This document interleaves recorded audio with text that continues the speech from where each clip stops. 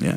Nabi Adam alaihissalam pada saat dikeluarkan oleh Allah Subhanahu wa taala dari surga karena melanggar, dilarang makan satu jenis pohon, tapi beliau makan digoda oleh iblis. Maka apa yang dilakukan Nabi Adam alaihissalam dalam Al-Quran? Apakah Nabi Adam mengatakan, Ya Allah kembalikan aku ke surgamu? Tidak. Nabi Adam mengatakan, Rabbana zalamna anfusana, wa in lam takfir lana wa tarhamna lanakunanna minal khasirin. Wahai Tuhan kami, kami telah mendalimi diri kami. Salah nih tadi, saya melanggar nih. Kalau kau tidak ampuni kami, tidak maafkan kami, kami termasuk orang-orang yang rugi.